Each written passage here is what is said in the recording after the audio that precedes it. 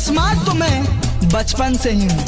पगली अगर चेहरे पर रुमाल भी लगा लू तो लोग मुझे मेरी हेयर स्टाइल से पहचान लेते हैं।